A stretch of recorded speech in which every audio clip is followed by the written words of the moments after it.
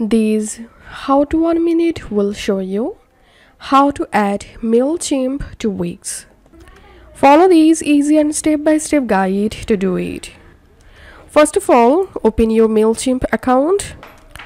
Once you are in your MailChimp homepage, click on Audience and select Sign Up Forms.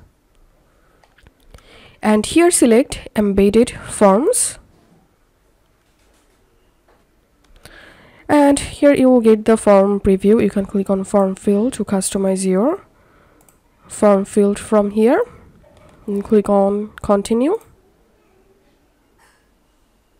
And you will get here embedding code. Click on copy code and now go to your wix dashboard and click on edit site.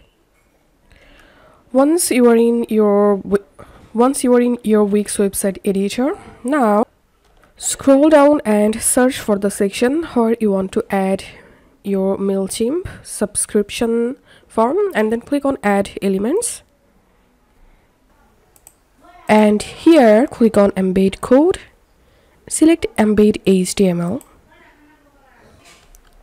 And here select code and paste here the MailChimp form code and click on update.